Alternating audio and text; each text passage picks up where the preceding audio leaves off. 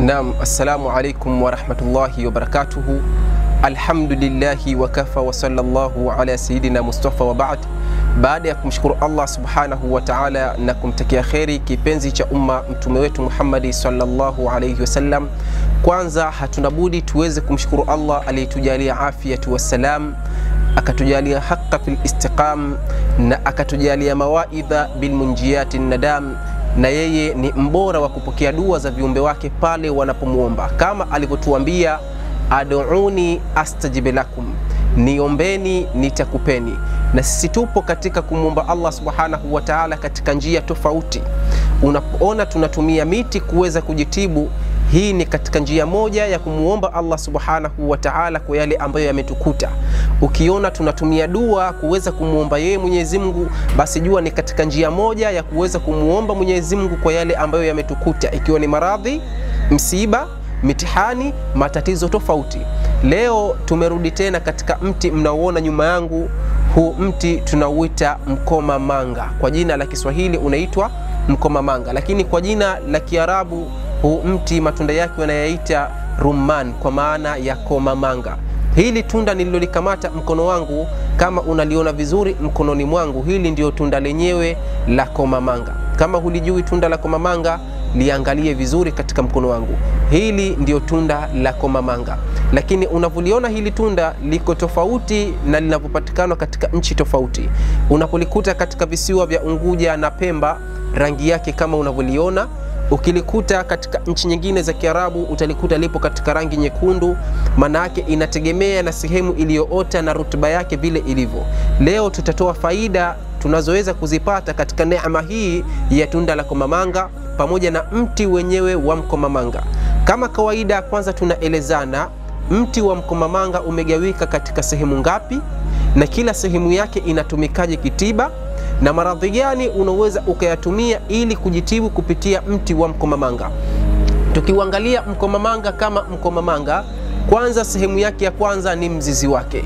Mzizi wa mti wa mkomamanga una faida yake katika tiba. Sehemu yake ya pili ni kigogo chake. Kigogo cha mti wa mkomamanga una faida yake katika tiba. Sehemu yake ya tatu ni majani ya mkomamanga kama unavyoyaona. Majani ya mkomamanga yana faida yake katika tiba. Sehemu yake ya nne, tunda lake la mkomamanga. Tunda lake la mkomamanga kama komamanga lina faida zake katika tiba, na sehemu yake ya tano tunauita mwiba wa mkomamanga. Huu mkomamanga kama unavyouona, ukiambiwa una mwiba huwezi kuuona, lakini mwiba wa mkomamanga unapatikana wapi? Ukiangalia mti wa mkomamanga unatoka maua na majani. Baada ya kutoka majani, kuna sehemu majani yanatoka na unabakia kitu kama mwiba wenye kuchoma. Mfano huu hapa, kama mwiba wenye kuchoma, huu tunauita ni mwiba wa mkomamanga, ambapo tayari majani yake yametoka, mbele ikabaki ncha. Una faida yake katika tiba. Manake mti wa mkomamanga ni mti ambao Mwenyezi Mungu kaujalia ni neema ya mti ambao unat, unatibu maradhi mingi na unasaidia vitu vingi. Maradhi yanayotibika hapa, kuna maradhi ya kibiolojia na kuna maradhi yasiyo ya kibiolojia. Tunajua tukizungumza maradhi ya kibiolojia ni maradhi yote ambayo unaweza kupona kupitia dawa za hospitali. Tukizungumza maradhi ambayo siyo ya kibiolojia ni maradhi yote ambayo ili uponi, rudi katika miti, rudi katika tiba ya kisunna, rudi katika tiba za Mtume sallallahu alayhi wasallam. Hapo ndo utapona maradhi ambayo yasiyo ya kibiolojia. Lakini mti wa mkomamanga pia wanazuoni wamehitilafiana, wengine wanasema miongoni mwa matawi yake ile fimbo ya Nabii Allahi Musa ilitokana na mti wa mkomamanga. Hilo la kwanza, wanazuoni wanahitilafiana, lakini asilimia kubwa wamekubaliana kwamba fimbo ya Nabii Musa ilikuwa ni fimbo ya mti wa mkomamanga. Kwa hivyo ni katika miti ambayo Mwenyezi Mungu Subhanahu wa Ta'ala ameibariki sana, na ndiyo maana inatibu maradhi tofauti. Tuanze moja kwa moja katika tiba ya maradhi yasiyo ya kibiolojia yanayokusumbua. Utajitibu vipi kupitia mti wa mkomamanga? Tiba ya kwanza tunaanza kwenye tunda lake komamanga.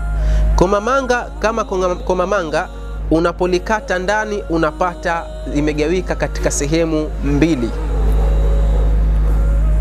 Komamanga kama komamanga unapolikata ndani limegawika katika sehemu mbili, na katika sehemu mbili hizi zilizogawika katika komamanga kuna maganda yake ya komamanga halafu na kuna mbegu zake za komamanga. Kuna maganda ya komamanga na kuna mbegu za komamanga. Tutaoneshana sehemu mbili zenyewe za ndani zilizogawika na tutatoa faida katika kila sehemu yake moja ya tunda hili la komamanga ili tuweze kupata faida kwa ujumla na tujue. Ukilikata ndani tunda la komamanga kama unavyoliona, kuna mbegu zake hizo, lillahi alhamdu, tamu. Nafikiri tunaziona hizi ndio mbegu za komamanga, lakini maganda yake kwa mamanga yameanza kuanzia nje mpaka ndani, yamegawika na kuingia. Mbegu kama mbegu za komamanga zinaweza zikatibu maradhi ya calcium.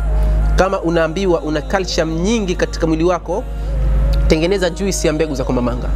Chukua mbegu za komamanga hizi, zitoe nyingi, maana yake chukua makomamanga yako zitoe nyingi hizi mbegu. Baada ya kuzitoa nyingi hizi mbegu, weka katika blender, blend, fanya juisi ya komamanga. Tumia juisi ya komamanga bila kuitia sukari, na utakunywa glasi asubuhi, glasi jioni. Inasaidia vitu gani? Kwanza, inasaidia kupunguza calcium katika mwili. Pili, mbegu za komamanga zinasaidia kuweza kufanya damu itembee vizuri katika mwili. Kama una tatizo la damu kuganda, kuna watu wanakwenda hospitali, anaambiwa ana tatizo la damu yake kuganda basi kupitia mbegu za komamanga unaweza ukaondoa tatizo la kuganda kwa damu, damu yako ikawa ipo laini na ikatembea vizuri. Lakini vile vile mbegu za komamanga juisi yake inaongeza CD4 za mwili, maanake ile kinga ya white blood cell inazidi kupitia mbegu za komamanga. Hizo ni katika baadhi ya faida ambazo tunazipata kupitia mbegu za komamanga au nyama yake ya ndani ya komamanga. Lakini maganda yake ya komamanga ya nje kama una tatizo siku zako zimejifunga, manake hupati siku zako, umekaa miezi miwili mitatu, au siku zako zinatoka vitone, huzioni kuendelea kwa kina mama, chukua maganda mabichi ya komamanga yachemshe, na kisio chake ni chumvi kidogo. Ukishachemsha tumia kikombe asubuhi, kikombe jioni. Kwa hizo Allah, siku zako zitafunguka.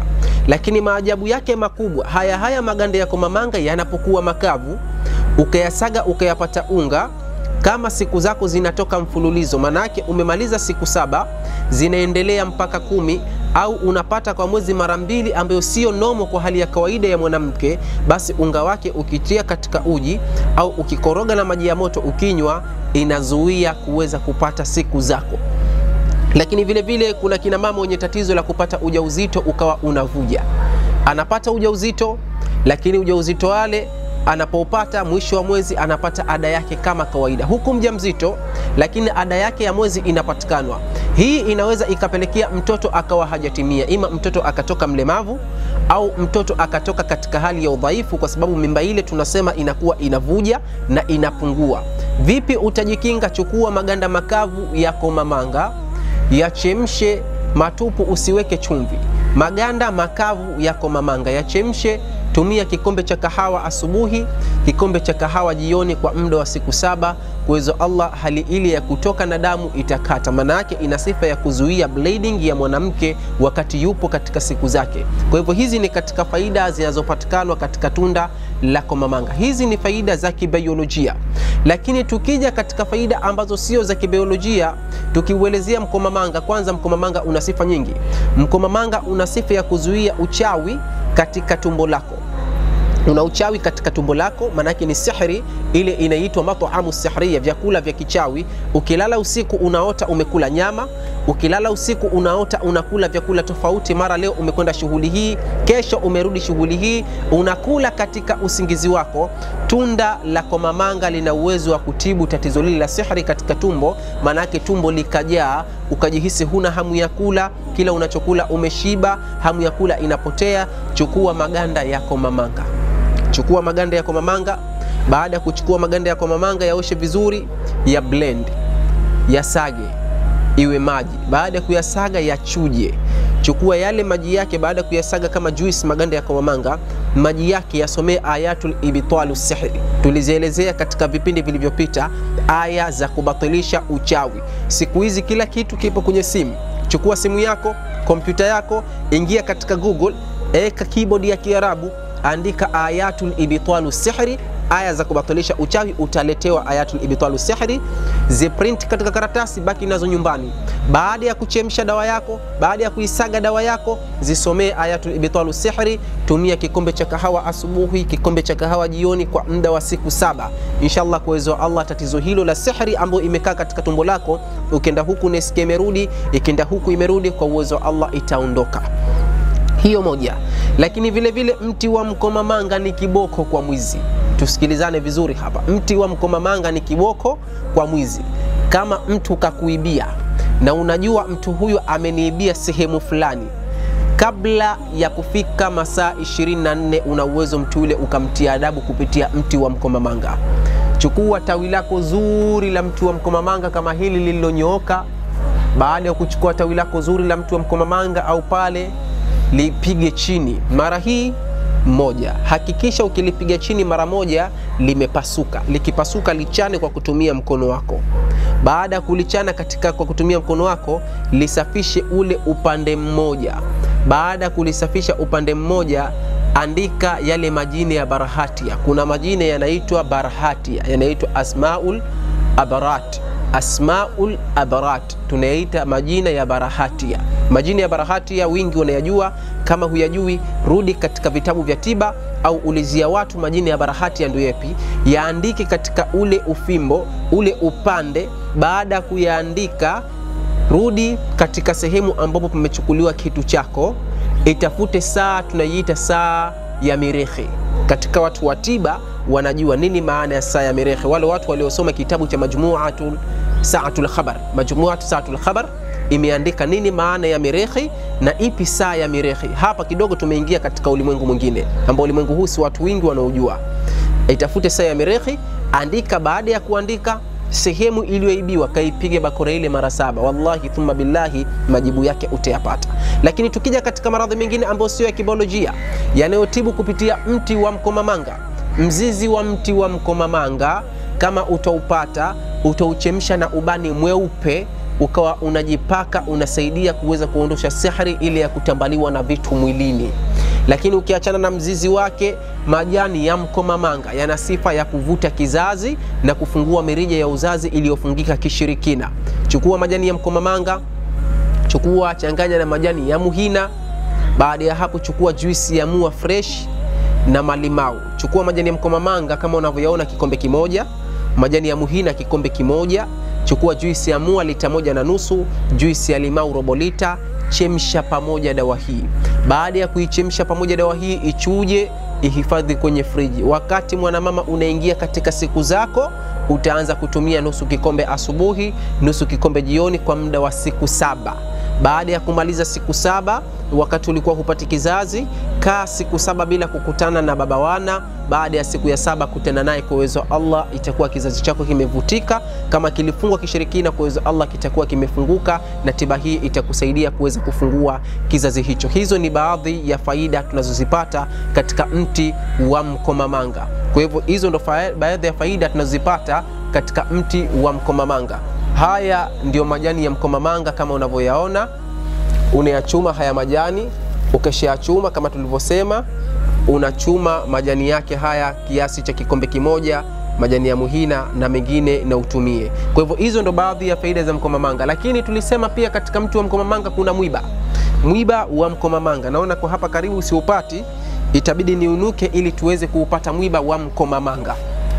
Kuna mwiba wa mkomamanga Mwiba wa mkomamanga, tukija katika mti wa mkomamanga, tumesema mwiba wa mkomamanga ni pale ambapo majani yamekatika kidogo. Baada ya majani kukatika kidogo, yakabakia hutengeneza mwiba. Sifa ya mkomamanga, majani yake yanapotoka yanatengeneza mwiba kama huu. Umeuona hapa, majani yametoka, umekuwa ni mwiba. Hapa majani yametoka, umekuwa ni mwiba hapa majani yametoka umekuwa ni mwiba. Kwa hivyo ukiuangalia mkomamanga kama mkomamanga hautoi mwiba, isipokuwa mwiba unatengezeka pale ambapo majani yanatoka. Sasa majani yanapotoka, ukitengezeka mwiba mkomamanga, vipi utautumia mwiba wa mkomamanga? Unatumika kwa wale watu wenye tatizo la upele una upele sugu unakusumbua, unaofanya kama vijipu vingine vile vinatokana na hasad. Tunasema mtu kafikwa na hasad, hasadi ile imepelekea kafanya vijipu vya hasad.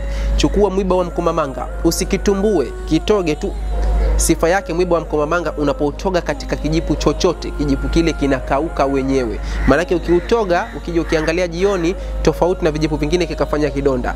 Mwiba wa mkomamanga una vitu ambavyo Mwenyezi Mungu ameujalia ukiutoga katika kijipu, kijipu kile kinakauka na kinapoa kwa uwezo wa Mwenyezi Mungu Subhanahu wa Ta'ala. Kwa hivyo hizo ndio baadhi ya faida tunazozipata katika mti huu wa mkomamanga kama unavyouona. Usiache kusubscribe, usiache kulike ili uweze kupata faida nyingine kadha wa kadha za miti tofauti na vitu tofauti ambavyo vinatumika kama ni tiba, lakini vile vile usiache kuchangia Dashif TV kwa maendeleo ya jamii. Lakini vile vile nawaambia tena, tunategemea ndani ya mwezi huu tutakaoingia Alfajir Herbalistic Clinic itakuwa tayari imeshaanza kuweza Allah, na watakaohitaji tiba watafika katika visiwa vya Zanzibar na watatibiwa kupitia miti iliyotuzunguka. Assalamu alaikum warahmatullahi wabarakatuh.